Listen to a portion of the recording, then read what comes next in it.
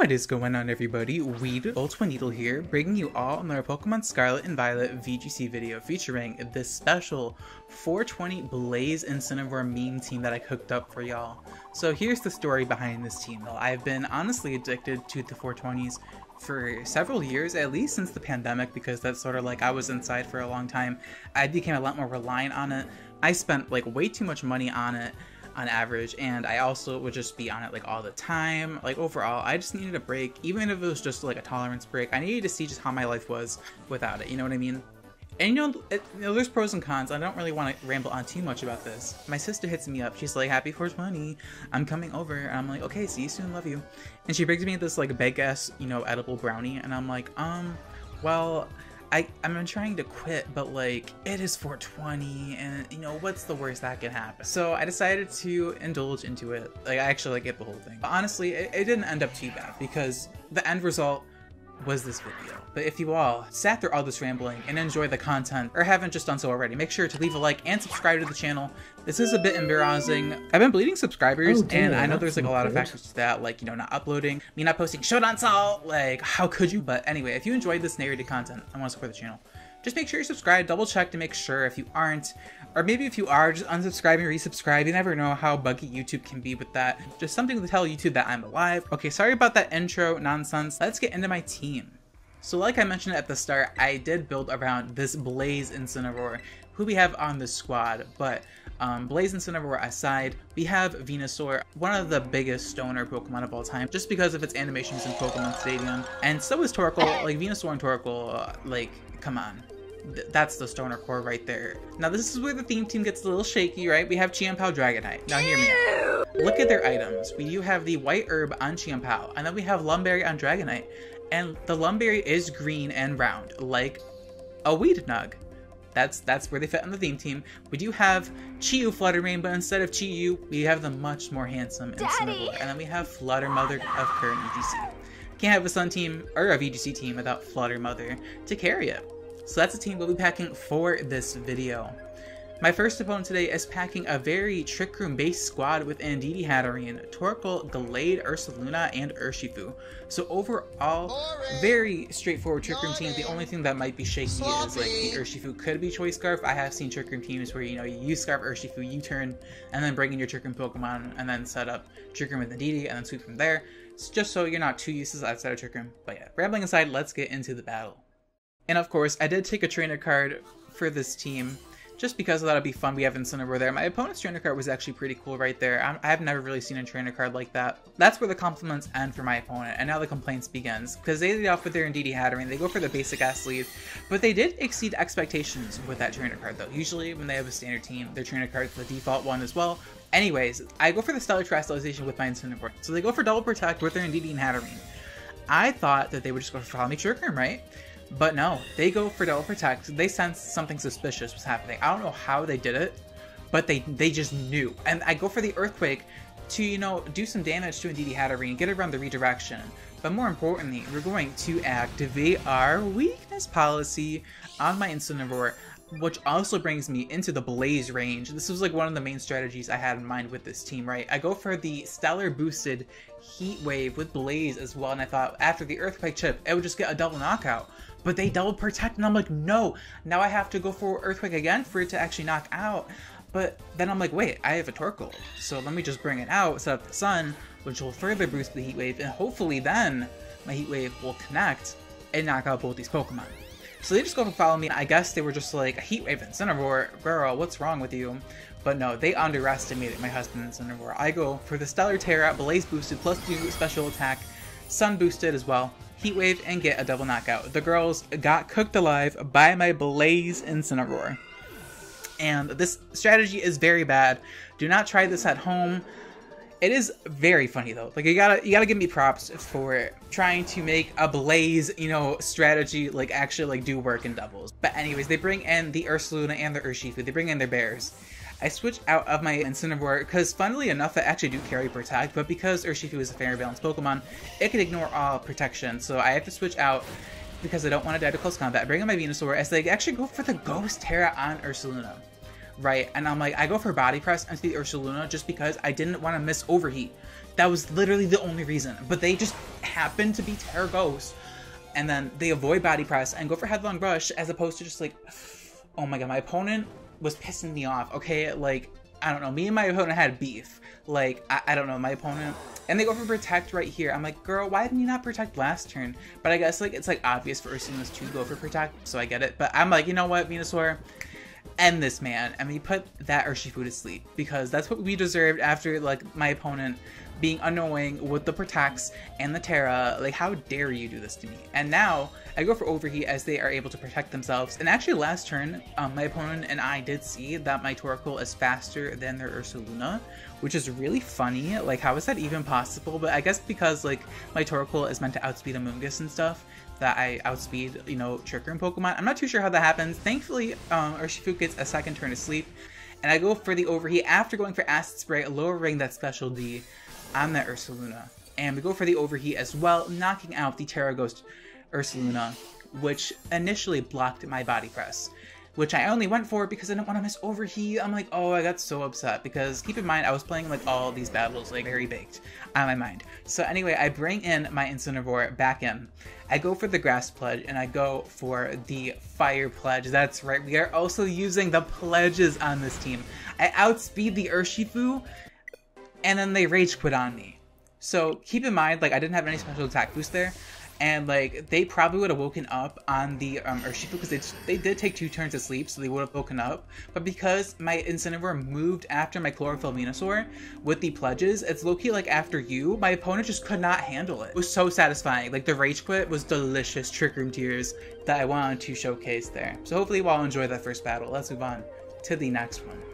So Toe here is packing a monotype normal team with Grafaiai, Regigigas, Ursaluna Blood Moon, Porygon 2, Farigiraf, and Smeargle. I was very excited to see what my opponent was going to bring in this battle right here. Like overall, I was hoping for like Grafaiai, Regigigas, but either way, I just wanted to see what my opponent was cooking up with this mono normal team.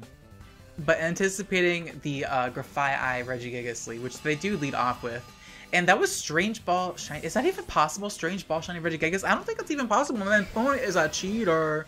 Or maybe they just know my bestie Caitlyn Jenner. They might just have her number as well. But either way, I'm to switch out of my Venusaur, expecting my opponent to go for a Doodle into it to get the Chlorophyll, right? They could Doodle into my Torkoal to get rid of Slow Start, but I just know that the Chlorophyll looks so delicious to them. They, they have to go for the Doodle into my Venusaur. So I switch into my Flutter Mane to absorb the Doodle because you actually cannot Doodle the Paradox Pokemon's abilities because they just gatekeep all fun strategies.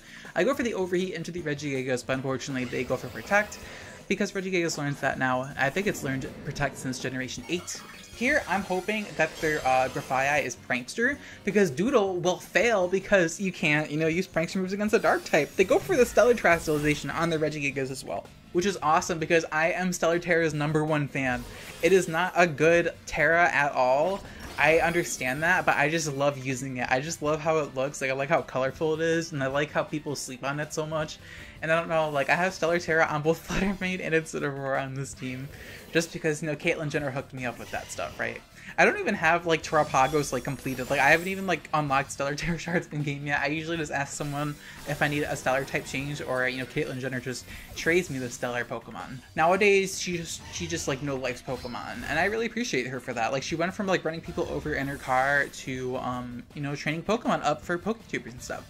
So I really appreciate uh, Caitlyn Jenner for that. I would never um cheat my Pokemon um, like my opponent with their strange ball Regigigas. Like, what the hell? Like, that's definitely cheated. But anyways, I bring in my Incineroar, go for the Stellar Tera. I'm like, oh, you have Stellar Tera? I'll show you a real handsome stellar man. So I bring my Incineroar, go for the Stellar Tera. I just show that animation for no reason. I cut out like all the other ones, but Incineroar, I just had to show that one. They go for the parting shot into my Venusaur because they were like expecting this thing to do damage because you know it is Pokemon in the sun. I kind of get it. They go for the parting shot. And now they're going to bring out their Porygon 2. So they bring out the Porygon 2, another shiny Pokemon. They're going to download and unfortunately for them, they're gonna get an attack increase.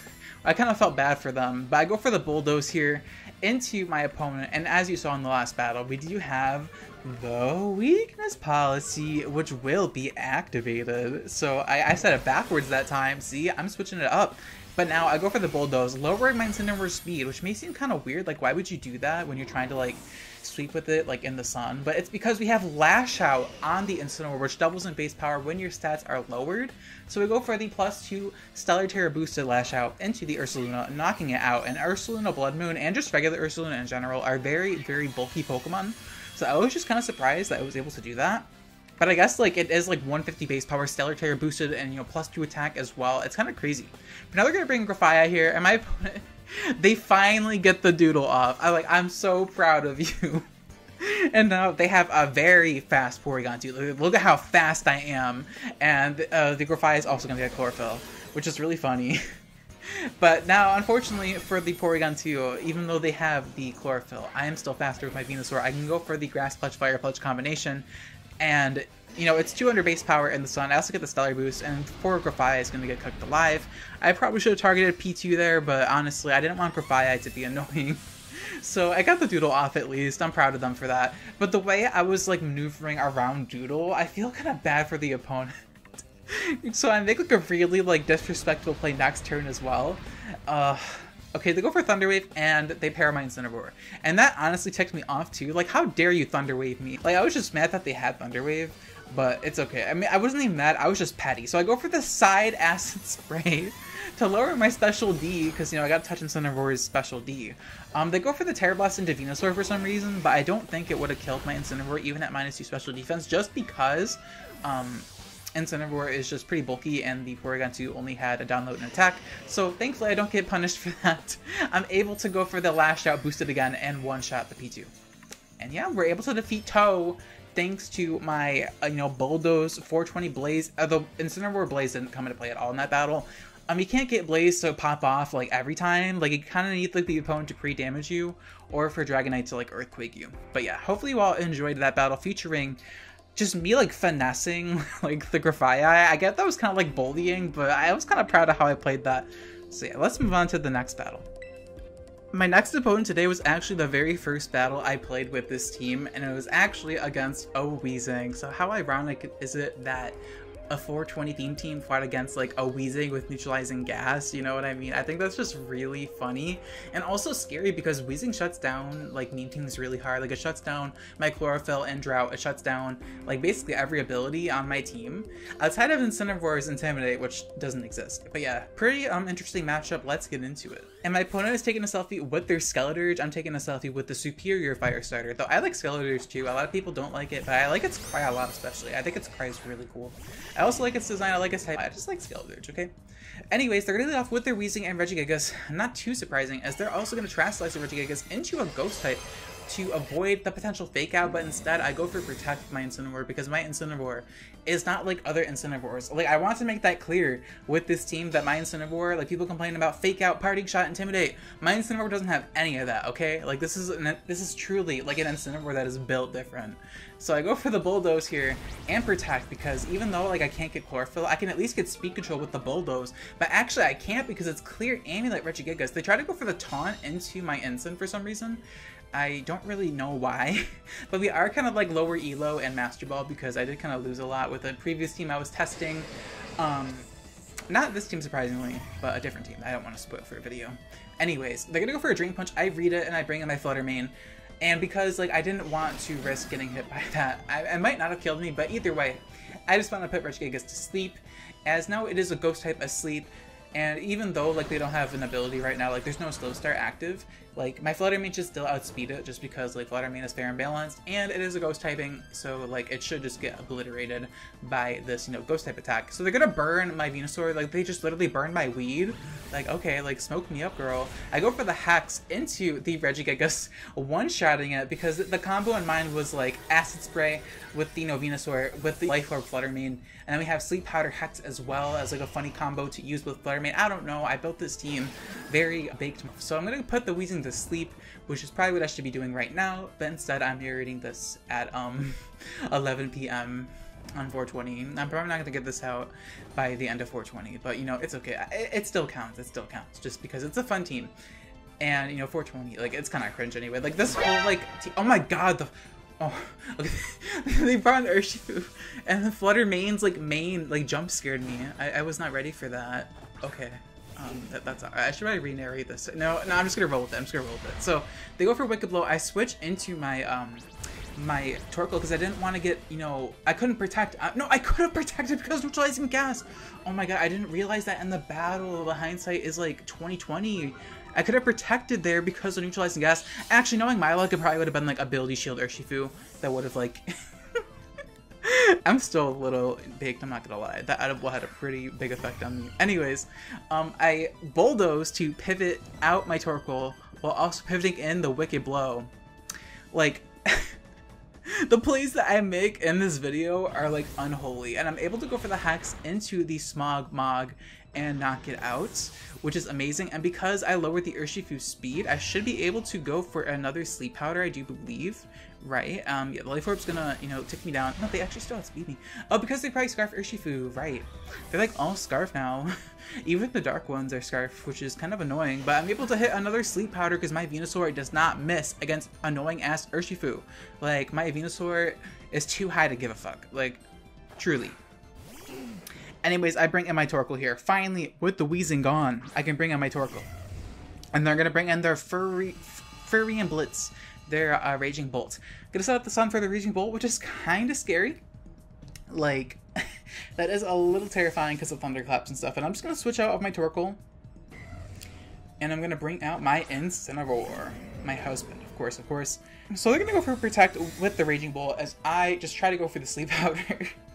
I'm just trying to be as cringe as possible at this point because I didn't really have much else to do. Like I don't have Earth Power to hit it, and Acid Spray like wouldn't do too much damage, so I just take the opportunity to bring it Ensign, go for the Sleep Powder, but they just protect themselves here. And I could go for another Sleep Powder, but instead I just go for the Stellar Terastallization with my Incineroar. They go for the Thunderclap, with the um, you know, protosynthesis boost, it does over half, but thankfully we're able to survive.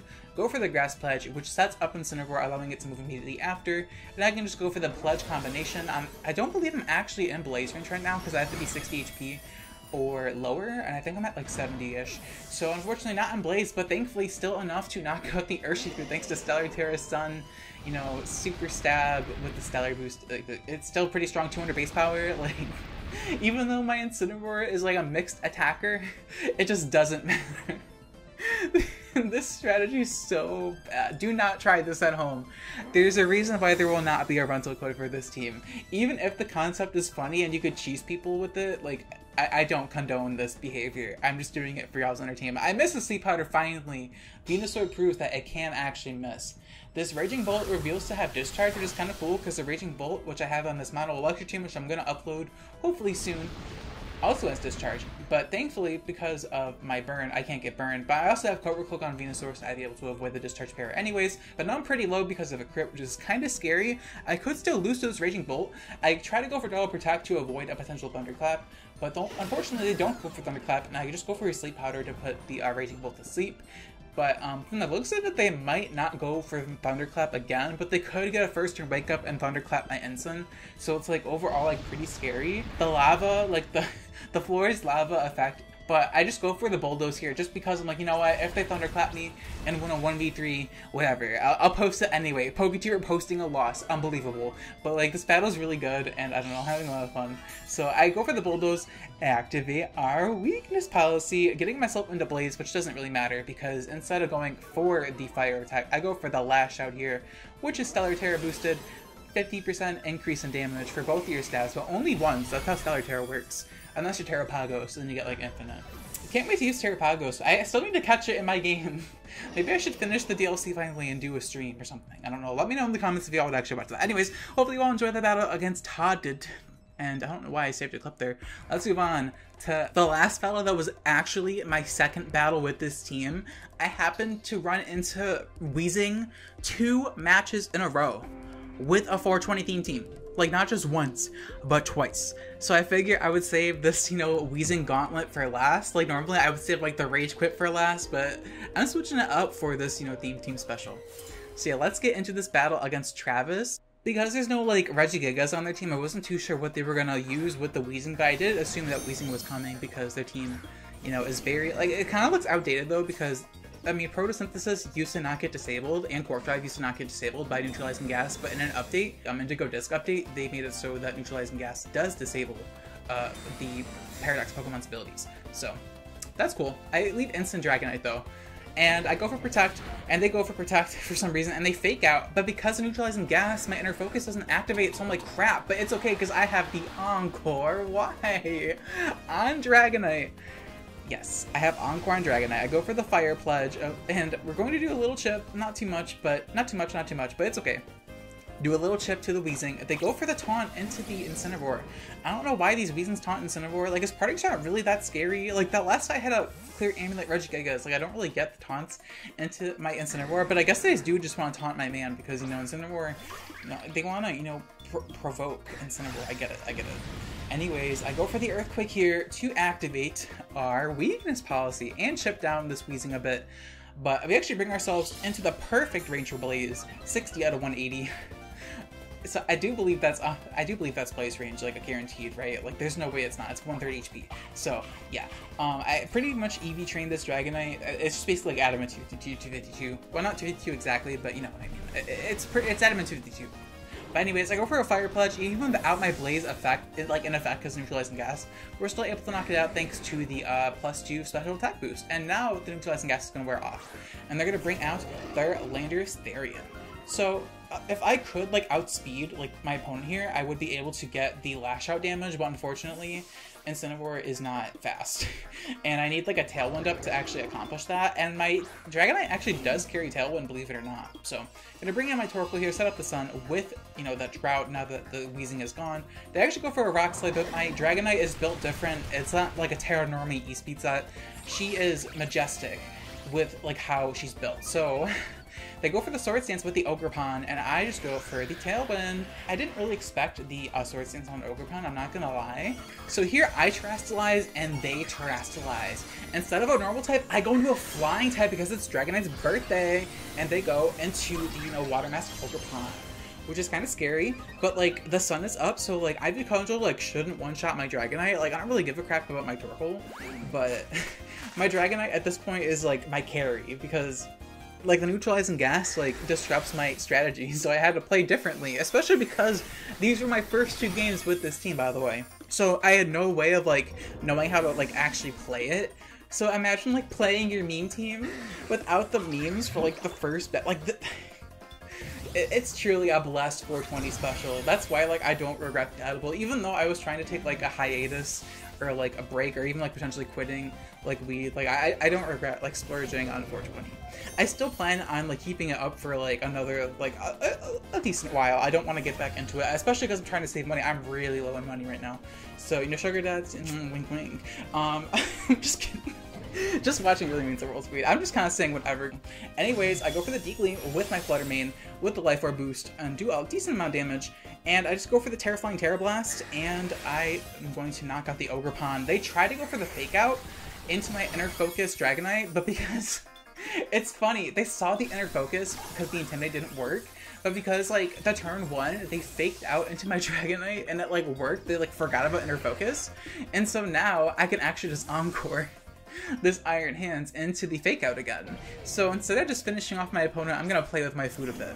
Gonna go for the Encore Y into the Iron Hands and lock that bitch into the Fake Out, which is just amazing. And now my opponent, I do believe, just concedes. But yeah, my opponent's gonna surrender and we're able to defeat Weezing twice with my meme team before I was able to actually pull off any of my memes I wanted to use with this team. So instead of putting them at the beginning, I want to put them like at the end because usually people click off this video at this point and people just want to see the gimmick, so I figured I would put these at the end. But hopefully you all enjoyed these battles. Here's the team, like moveset details. I didn't really get to showcase my Chien-Pao, but I did have the White Herb with Lash Out, so I can also Bulldoze next to Chien-Pao and like activate White Herb while, you know, doubling the Lash Out base power. And even with White Herb activating, nullifying the speed drop, it still doubles the power. So you can actually potentially get multiple uh, Lash Out combos with the Chien-Pao. But yeah, make sure to join my Discord server and follow me on Twitter if you have those social medias and feel like interacting with me and my community. You can, you know, follow me there. But yeah, thank you so much for watching until the end of the video. I love you all very, very much, and I'll check you all in my next video.